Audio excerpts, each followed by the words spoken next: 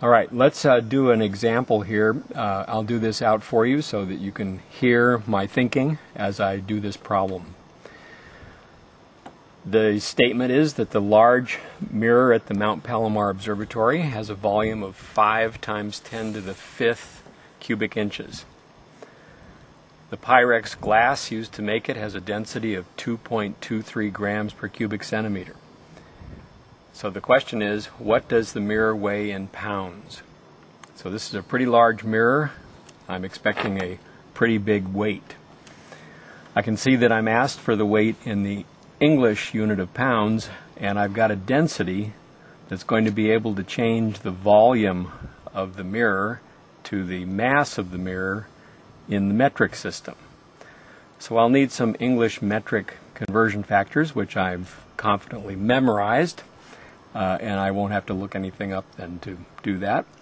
And I also see that I've got an English volume unit and a metric volume unit. So I'm going to have to do some conversions in that uh, as well. So as I see this problem, the semi-math statement would be, how many pounds does this mirror weigh? So that's my the simple statement of what the problem is. I know that the mirror has a volume of this much.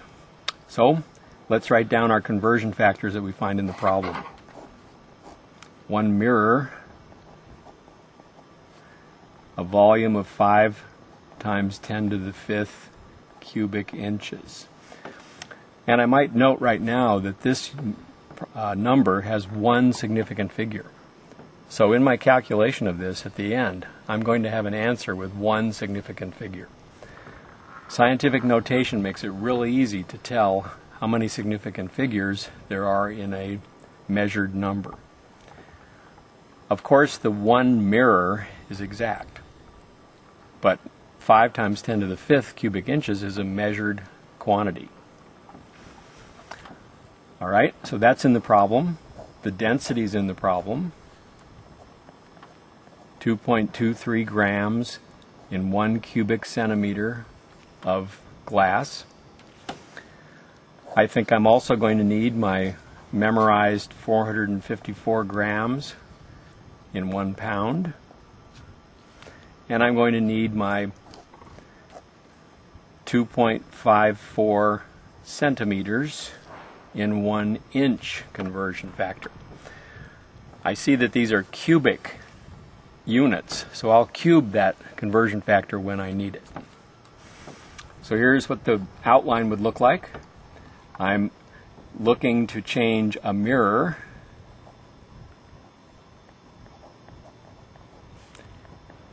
into cubic inches, which I'll change into cubic centimeters.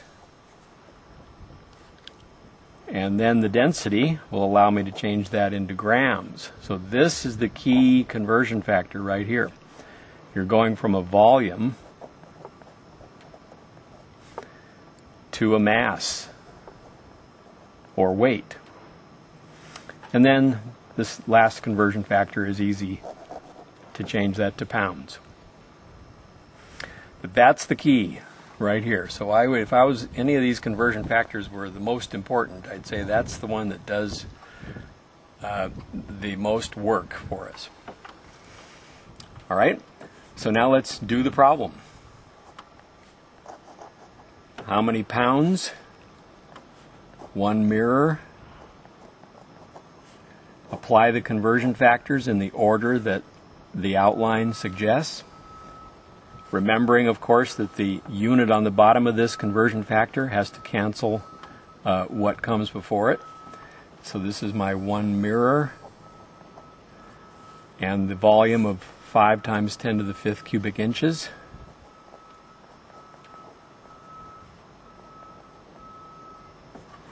That cancels then. I'm in cubic inches now. I want to change that to cubic centimeters, again following my outline. I see that my conversion factor though doesn't have cubic units in it, so I'll have to cube the entire conversion factor. And when I do that, I'll have one cubic inch on the bottom. One cubed is still one. 2.54 cubed centimeters cubed. Remember that everything gets cubed if you cube a, a conversion factor. Everything meaning the numbers and the units. So in my calculation, I'll be cubing 2.54. Okay, the unit of cubic inches cancel. I'm looking at cubic uh, centimeters to grams. That's the density conversion factor for the glass. One cubic centimeter. And you'll notice that I write down the lower unit and value first because that's the one that's going to look just like this. So that's kind of a interesting thing that you notice after a while is that you want these conversion factors written so that this unit cancels. So write down that unit first and make sure that you have it written correctly. That is, not upside down. So the 2.23 grams from the problem is up here. Last conversion factor, grams to pound. One pound, whoops, I better do what I said. 454 grams is one pound. At least to three significant figures. All right, so there's the problem worked out. I end up with the unit of pounds just like I wanted.